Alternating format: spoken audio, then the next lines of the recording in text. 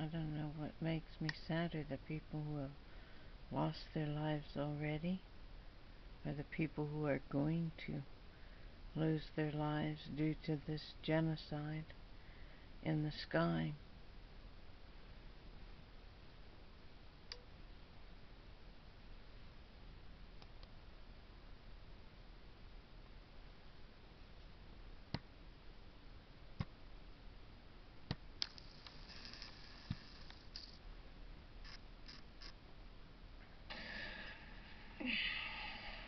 With each breath, Greg Zanis repositions the pieces of this memorial.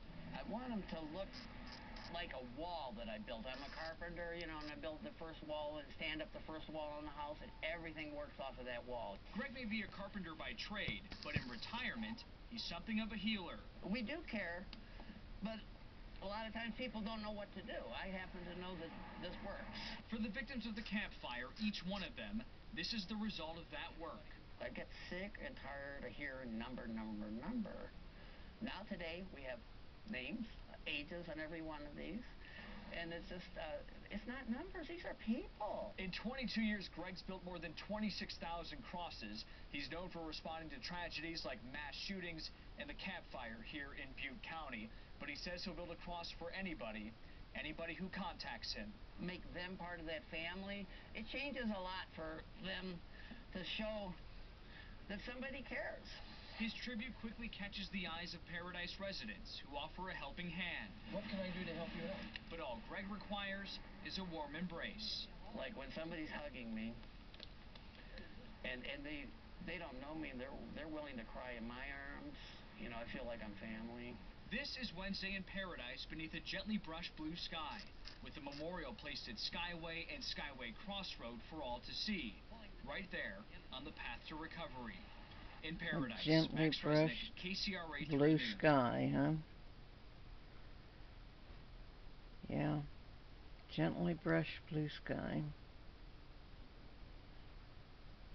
Rimmel London presents Scandaleyes Mascara. Max Density Brush creates dangerously.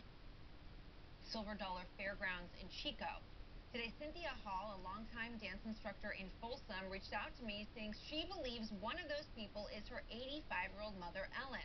But due to confidentiality rules, she has no real way of knowing, and she hasn't been able to see her. Tonight, we speak to Cynthia about her mission to get reunited. Take a listen. Right down there. Hit Search. search, correct. Cynthia Hall knows her mother, Ellen, made it safely out of the Camp Fire. Okay, That's there she is. But she still hasn't been able to find her. What, 44 days now?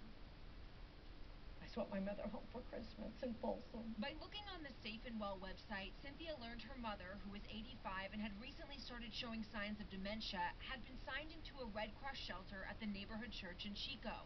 When Cynthia went to get her, she was told she wouldn't be able to. She couldn't even see her. The Red Cross mental health nurses said she doesn't want to get in a car. Get in a car. I think it was because of the fire that she saw on both sides of the street on the way up there to from Paradise to Chico. That she may have been scared. Oh, she was probably very scared. Since then, Cynthia has continued to call the Red Cross asking they be reunited, but she keeps hitting the same wall. The confidentiality that they have. They can't tell me if she's there. They can't tell me if she's okay. They can't tell me that if she has enough medication. They just can't tell me anything. A spokesperson for the Red Cross told us that due to privacy concerns, they cannot facilitate reunions unless the person in the shelter is fully willing. But Cynthia says her mother is traumatized and confused. I felt as though the dementia set in all the trauma from the fire. Do you think that if they let you walk in and just see her, and she could see you, that all of this would be I thoroughly agree. She would know that somebody's looking for and loved her. All the family's been calling me looking for her. Cynthia also has one other concern. A few weeks back, $140 was taken out of her mother's bank account the same day her Social Security check was deposited, and the password for the account was also changed. She had no access. She had no internet. She had no cell phone. She had nothing. So somebody from the outside must have done this.